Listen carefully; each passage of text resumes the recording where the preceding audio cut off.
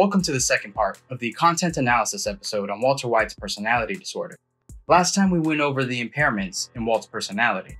In this episode, we will finish running diagnostics on Walt and arrive at a definitive diagnosis.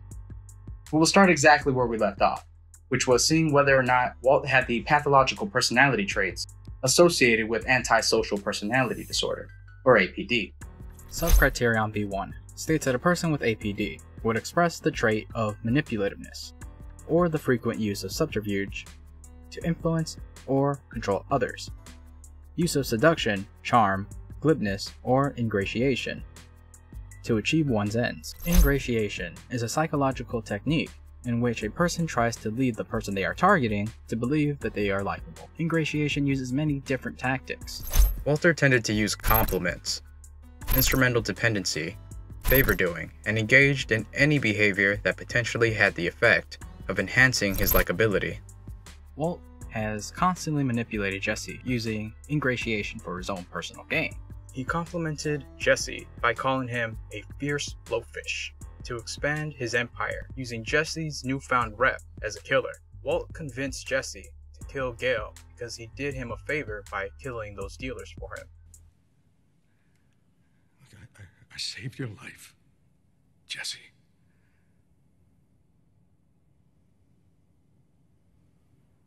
Are you gonna save mine? Walt also told Jesse that he was completely reliant on him to save his life, even though Jesse making a last minute solo attempt to kill Gale would put Jesse in danger. He attempted to convince Jesse to help him kill Gus by reminding him that Gus tried to kill them both, and allowed Andrea's brother, Tomas, to be shot. After pushing the blame to Gus, Walt feebly attempts to dissuade Jesse from killing Gus, and then offers to help him kill Gus instead. Again, as if he is doing Jesse a favor. I don't care. Jesse. Jesse, just get in your car. Just go. Just drive. No. I'm going to do this one way or another, Mr. White. Then let me help. Towards the end of the series, he attempted to manipulate Jesse into thinking that it was in his best interest to disappear and start a new life. But Jesse caught on and realized that he was being used to derail Hank's investigation. Although Jesse isn't the only person manipulated, I chose to focus on situations with Jesse because the manipulation is easily seen. Subcriterion B3 states that a person with APD would express the trait of deceitfulness. Walt was deceitful and has been seen being dishonest and fraudulent. He misrepresented who he was to anyone who didn't know he was a drug dealer. He fabricated the story of why he suddenly disappeared during the days that Tuco kidnapped him by claiming that he was in a fugue state. As previously mentioned, Walt also lied to Jesse and made it seem like Gus was the one that poisoned Brock. He also lied to Jesse regarding Mike's death by claiming that Mike was alive and well, when in actuality, Walter had killed him. Subcriterion B4 states that a person with APD would express the trait of hostility. Walt was hostile and had frequent angry feelings that can be seen when he interacted with Mike, Jesse, Skyler, Saul Goodman, and Officer Kavanaugh. For example, when Mike insulted Walt's hubristic pride by saying that the act of killing Gus did not make him Gus, this left Walt seething. Walt communicated his hostility non-verbally when he gave Mike an angry look, a look that said, I really want to hurt you. Later, he expressed to Jesse, although indirectly, that he was considering killing Mike for the same reasons Gus killed Victor. Interestingly, hubristic pride has been found to relate to low levels of conscientiousness, as well as higher levels of antisocial behavior. Walt obviously becomes so angry with Mike that he eventually does kill him. Walt also fought with Jesse for not poisoning Gus. He also fought with Saul for bugging his house and listening in on his marital problems. Walt was also passive aggressive towards Skyler when he threw the pizza he bought on the roof of their house. He did this because Skyler refused to let him into their house to talk about the problems they were having at the time. Walt also displayed his anger towards Officer Kavanaugh when the officer refused to give him a pass for his broken windshield.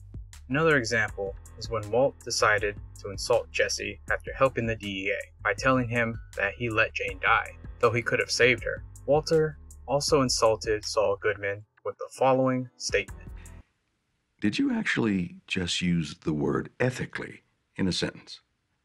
You're not Clarence Darrow, Saul. You're a two bit bus bench lawyer.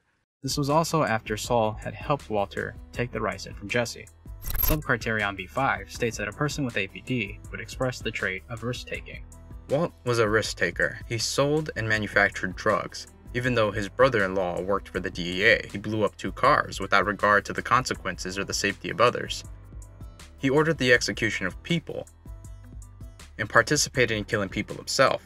By performing criminal acts, he risked losing his family for good and his freedom. Walt was also not concerned with his own limitations, as can be seen when he tried and failed to coerce Saul into participating in his plans to kill Jack and his group. He also refused to admit to Skyler that he and their family were in danger until after Gus directly threatened him. Although I don't think Walter initiated these activities out of boredom, I still think he is a risk taker. Subcriterion B6 states that a person with APD would express the trait of impulsivity. Walt tended to be impulsive and has been seen to have difficulty establishing and following plans. Walt impulsively killed Mike and Gus's drug dealers and did not consider the full extent of the consequences of his actions. Now, Dr. White was no Doctor Strange, but if he had a reasonable sense of foresight, he likely would have survived Season 5. Likewise, if Walt would have stuck to his plan to cook until he had enough money to pay off his bills, or until the three month contract with Gus expired, he would have survived, and the series would have a very different ending. Instead, he decided to keep cooking and agreed on the spot to continue cooking for at least a year for Gus. Walt's impulsiveness can be seen many times after Walt's cancer goes into remission.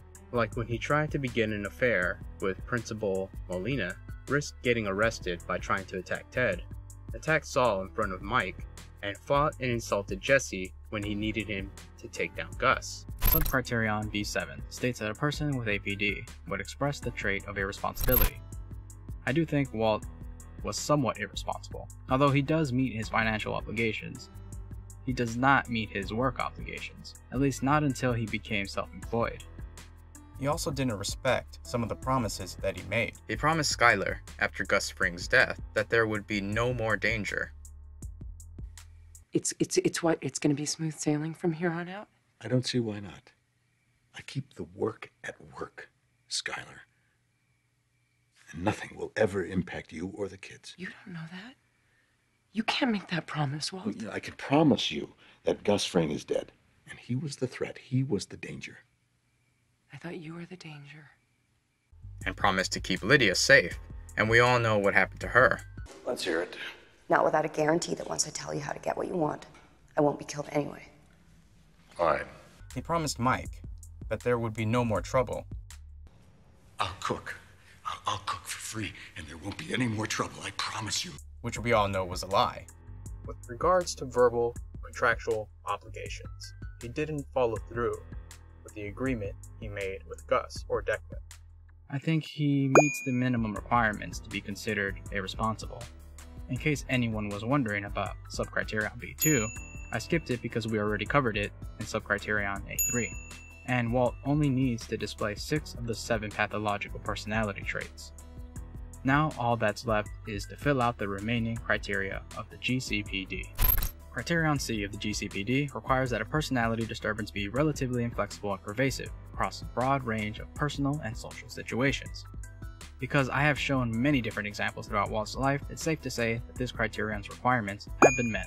Criterion D of the GCPD requires that a personality disturbance be relatively stable across time, with onsets that can be traced back to at least adolescence or early adulthood. Walt's inferiority complex, arguably the foundation of narcissistic personality disorder, is present in Walt's early adult life. In fact, his early feelings of inferiority was revealed to us through Vince Gilligan himself when he gave us the reason why Walter left Gretchen. He stated, I think it was a kind of situation where he didn't realize the girl he was about to marry was so very wealthy and came from such a prominent family, and it kind of blew his mind and made him feel inferior, and he overreacted.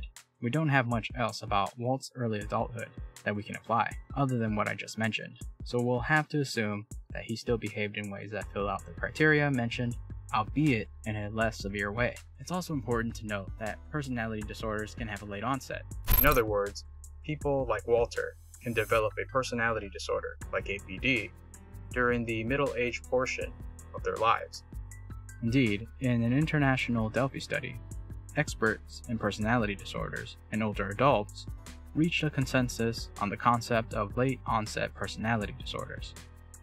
The general opinion was that old age and life events that often accompany the stage of life often contribute to the expression of a late onset PD.